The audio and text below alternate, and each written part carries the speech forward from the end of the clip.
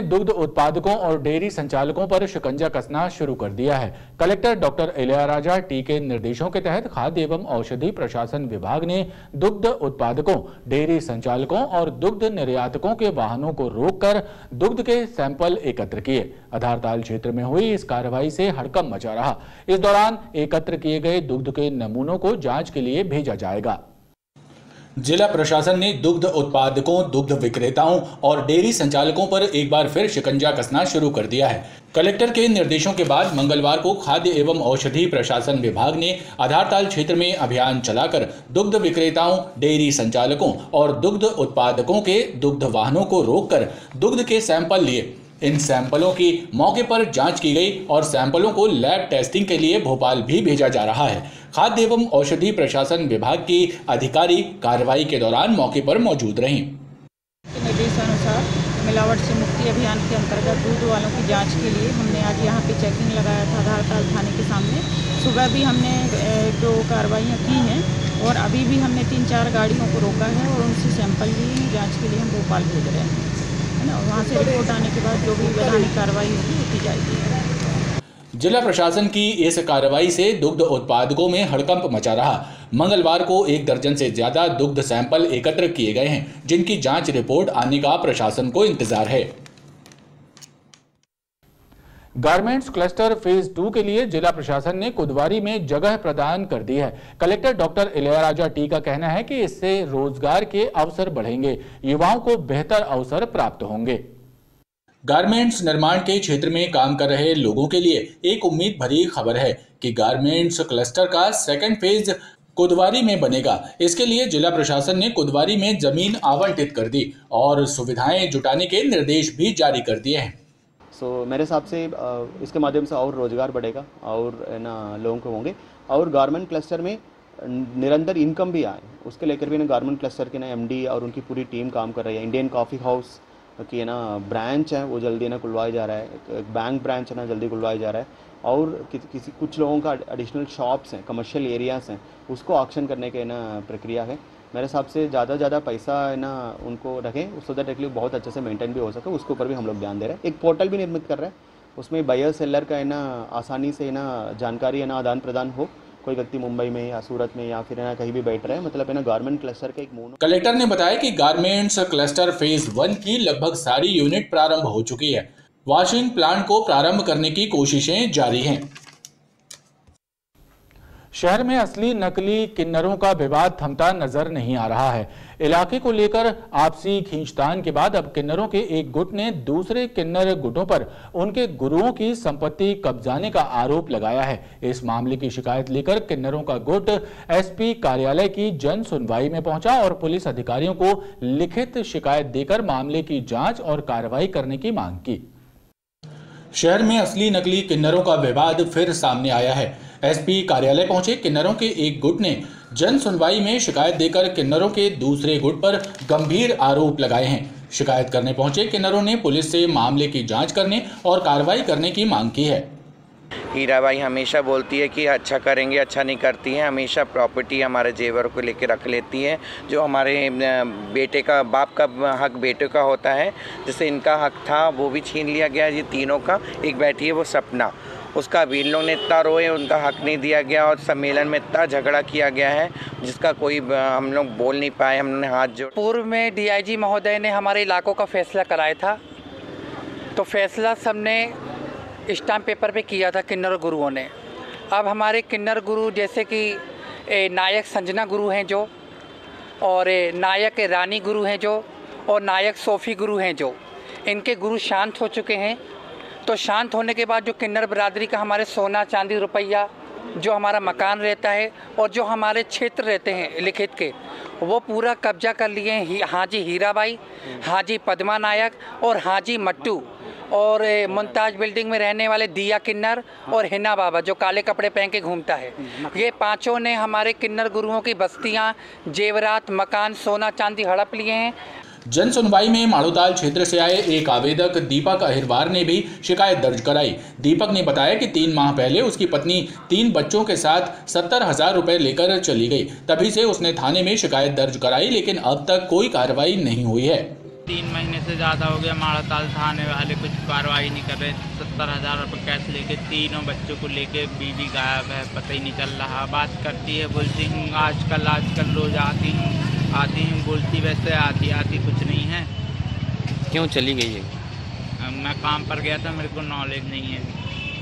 जन सुनवाई में शिकायत लेकर आए आवेदकों की शिकायतों को सुनने के बाद डीएसपी मुख्यालय तुषार सिंह ने उन्हें शिकायतों की जाँच करने और विधि संबद्ध कार्रवाई करने का आश्वासन दिया।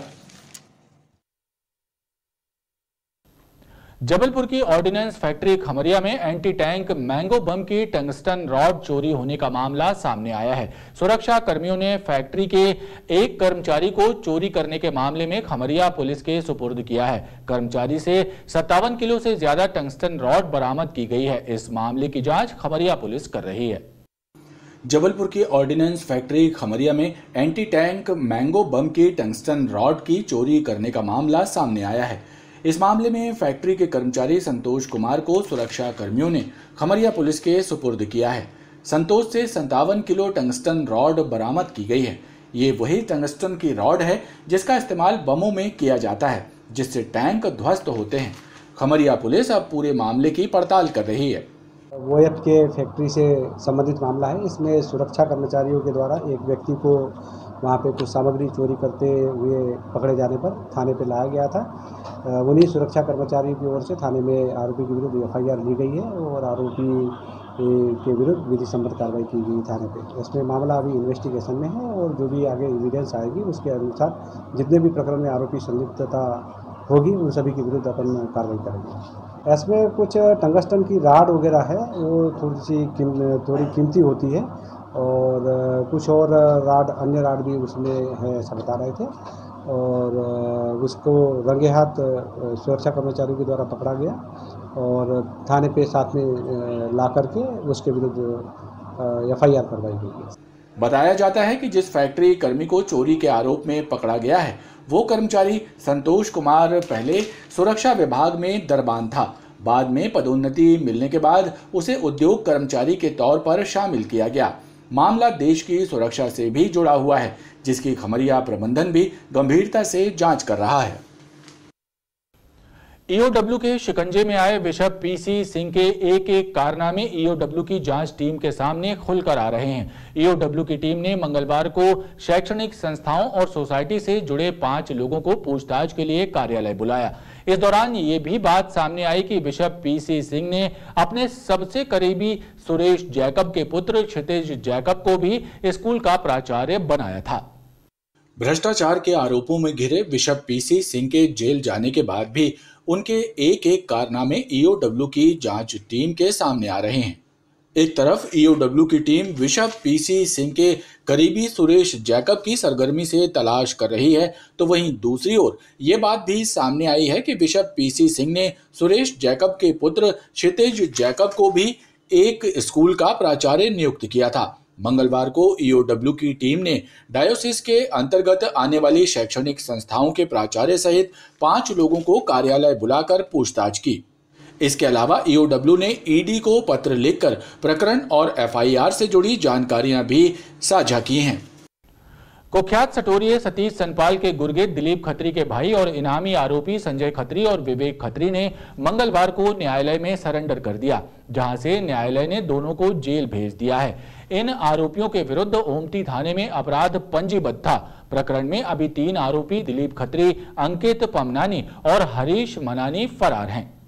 कुख्यात सटोरिये सतीश सनपाल के गुर्गों, दिलीप खत्री के फरार भाइयों, संजय खत्री और विवेक खत्री ने मंगलवार को न्यायालय में सरेंडर कर दिया। दोनों को कोर्ट ने जेल भेज दिया है। उमती पुलिस बुधवार को दोनों को पुलिस रिमांड पर लेने की अर्जी कोर्ट में दाखिल करेगी। पुलिस के मुताबिक संजय, विवेक और अन्य लोगों के विरुद्ध महानदा निवासी मनिंदर सिंह कंधारी की रिपोर्ट पर विभिन्न धाराओं के तहत प्रकरण दर्ज किया गया था।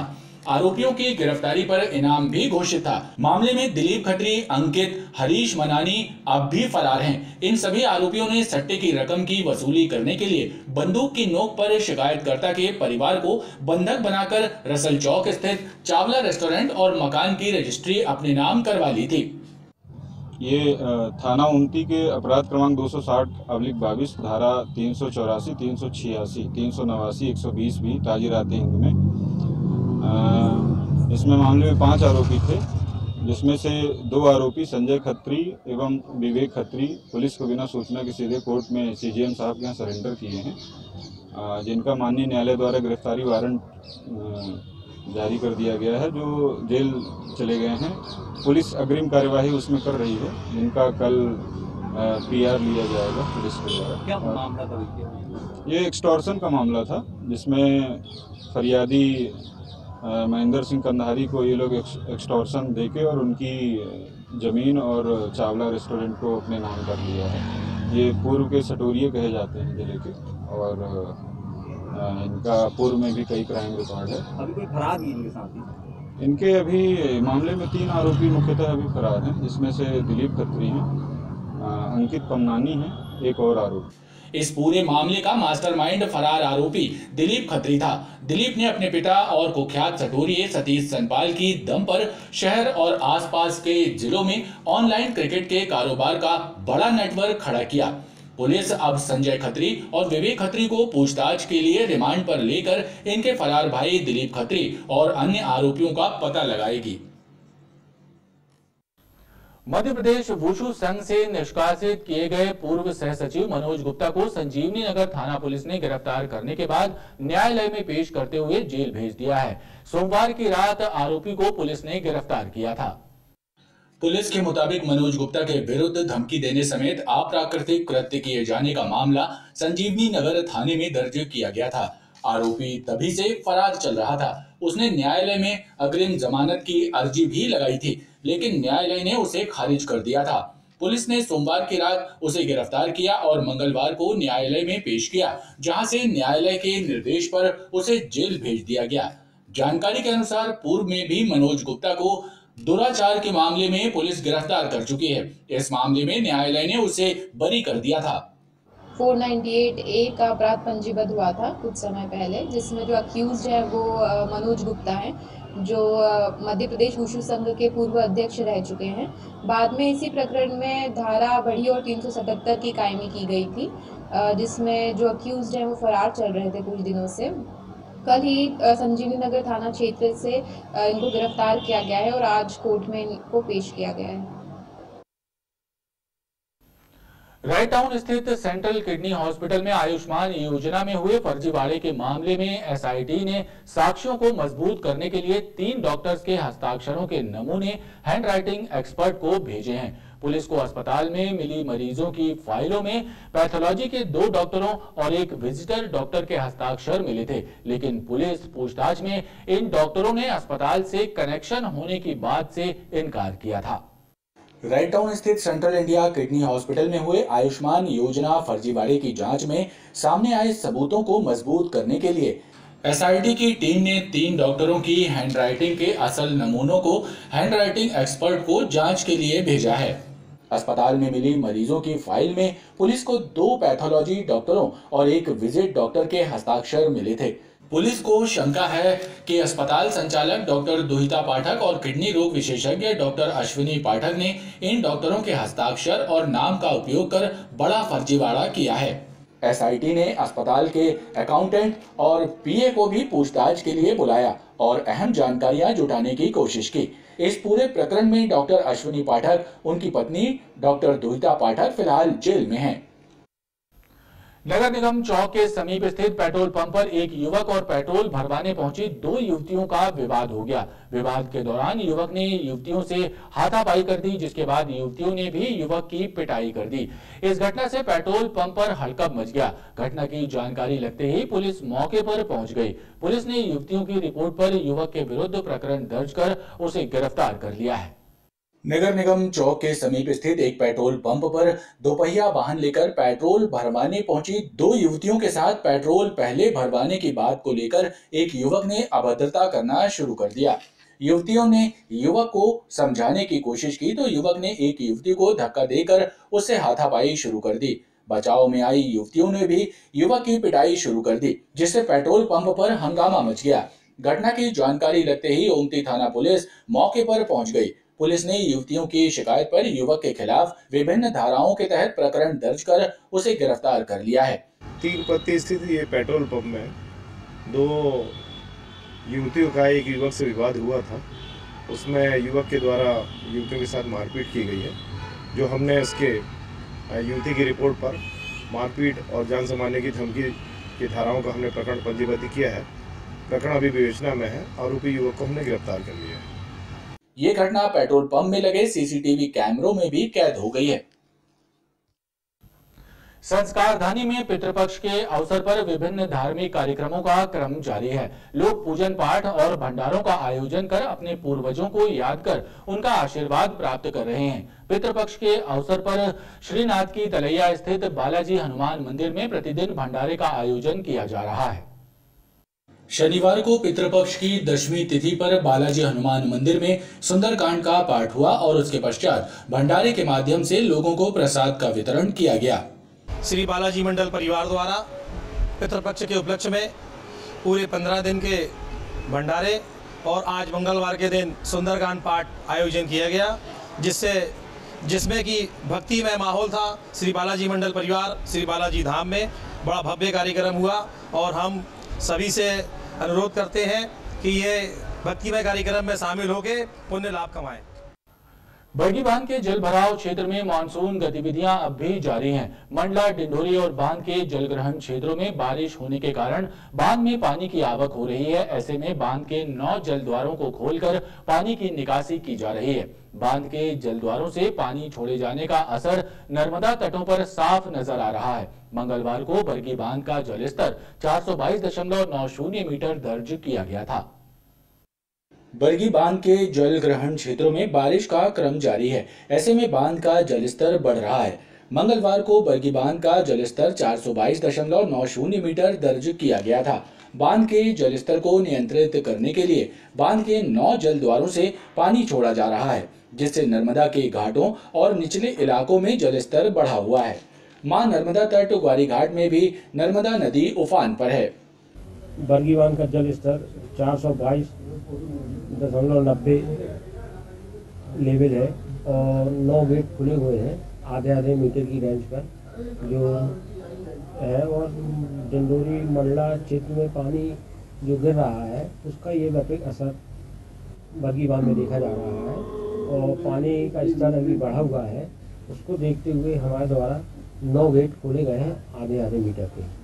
जिला प्रशासन द्वारा नर्मदा तटों पर निगाह रखी जा रही है और यहाँ आने वाले दर्शनार्थियों को भी सतर्कता बरतने की समझाइश दी जा रही है।